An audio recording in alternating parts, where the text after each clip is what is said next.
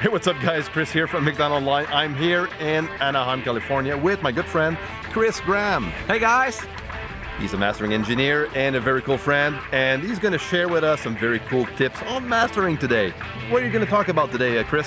Uh, I'm going to talk about, for those of you that are mastering your own mixes, five tips on how to get great sounding masters at home.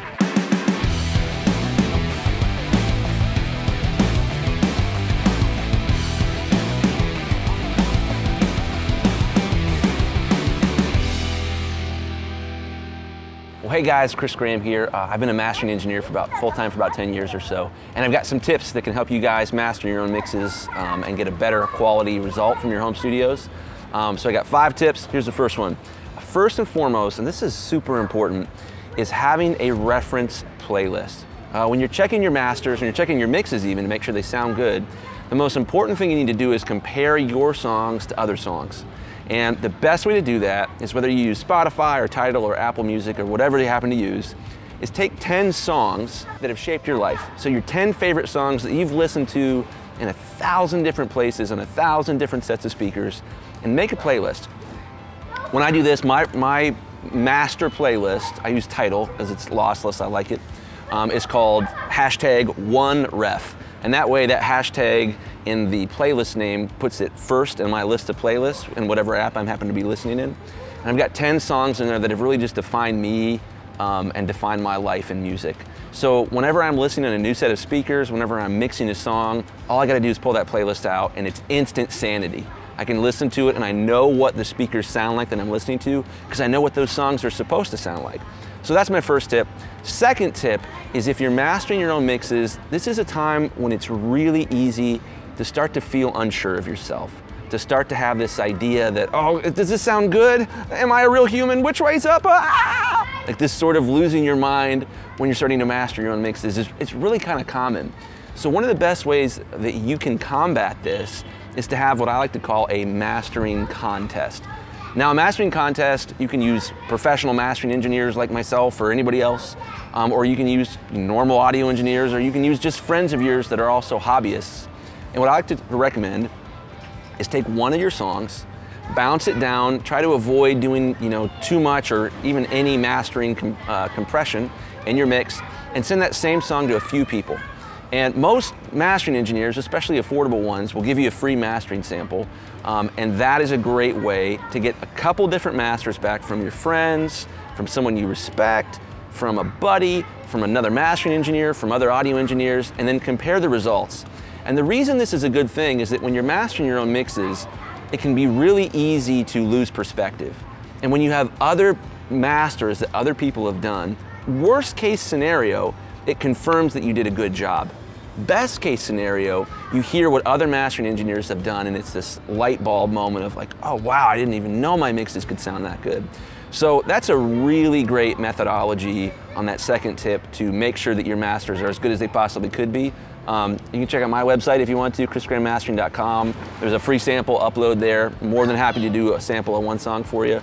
Um, but I'm obviously not the only guy that does that. That's a pretty common service. And it's pretty easy to find people that are willing to do that. Next tip um, is checking for what I like to call mix portability.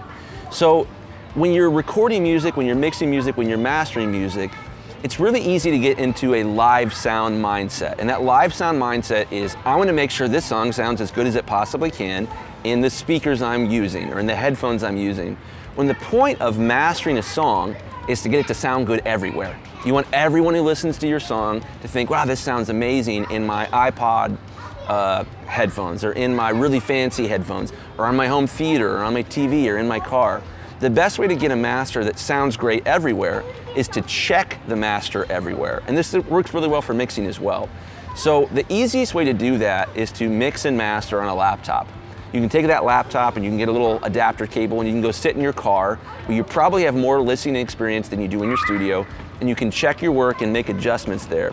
Same thing for your home theater system. If you watch a lot of TV or concerts or whatever, you can sit down and you can plug your laptop into your home theater system and you know how that home theater system sounds because you also know how that home theater system sounds with your reference playlist, that first tip I gave you guys. So if you don't have a laptop or if you do have one that you haven't installed your recording software on, Cubase is what I hear is popular these days, if, if you do that, that makes it really easy to make these adjustments and to make sure everything sounds portable. You might find that the master sounds a little too bassy in the car and sounds a little too thin in your home theater system and you have to kind of equal that out so that it sounds everywhere. So this mix portability is really the goal and getting stuck in that live sound mindset of I'm just trying to make it sound good in one spot is the source of a lot of heartbreak for people that are mastering their own songs. And my fourth tip for you guys is that when you're checking your masters, and this works for mixes as well, is I recommend checking them at conversational level. What that means is when you're in your car, you should be able to have a conversation while listening to that music. Because here's the thing, most people listen to music at conversational level. Most people that are mastering their own music listen at the loudest the amp can possibly go. They're trying to hear every little detail. And the problem with that is that our ears respond differently, much differently at loud volumes than they do at quiet volumes. What complicates that is many sound systems totally change the EQ of the song as you begin to turn it up as well. So listening at conversational volumes and making sure your song sounds good when you could have a conversation with somebody in the car can really help a lot. Because the most important thing when you are referencing uh, the volume level of your masters is understanding that your mixes, if they sound good quiet, will probably also sound good loud. If they sound good loud, they will not necessarily sound good quiet. So uh, my last tip for you guys is with limiters. So obviously if you've done any mastering at all, if you know anything about mastering, you've watched any other Chris's videos on mastering, a limiter is virtually always the last plug-in that you put in your chain. So, you know, you might do compressor, multi-band compressor, yada, yada, yada, limiter. Limiter is the last thing that you do. What most people do that they don't know is a bad idea is they set the output ceiling of the limiter to zero dB. And what that means is that the loudest parts of the song are going to peak at 0 dB. You shouldn't do that. You should have it lower than that. Apple recommends you should have it at like negative 2 or negative 3. And the reason for that is that while the master might sound great in your studio, it might sound great when you bounce down to a wave. When you convert to MP3 or AAC or MP4 or whatever it happens to be, or it's streamed on Spotify or anything else, when it's converted to a lossy format, when it's close, when it's peaking at zero, it re-renders the MP3 above zero and you actually get clipping after it's been converted. This is called intersample clipping and it does not sound good. There's a lot of different things, there's a lot of different advice that you can get and you can hear about mastering that is uh, it's not one size fits all. Avoiding intersample clipping is a one size fits all. It's a good move. So leave yourself a little bit of headroom so that when you get converted to MP3, that you're not going to, or MP4 or whatever, that you're not going to get that intersample clipping. So my five tips, one more time, are one, have a reference playlist. That is, this is your sanity tool and the most important tool you have when mastering your own songs. It's not your limiter, it's not your plugins, it's not your speakers, it's not your headphones, it's your sanity. It's making the right decision instead of starting to freak out at the very end and then over processing and over EQing. Uh, number two is have a mastering contest. Take one song, send it to a few different people, get them to master it for you, just like a free sample, and then compare it to your own work.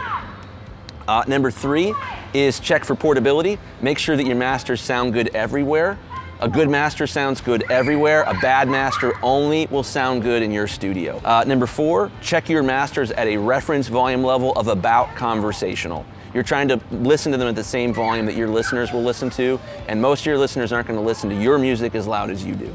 Uh, number five, this is the last kind of technical nerd tip here, is don't set your output ceiling at zero. Set it a little below zero so that you don't get inter-sample clipping when it goes to streaming, when it gets converted to a lower quality format.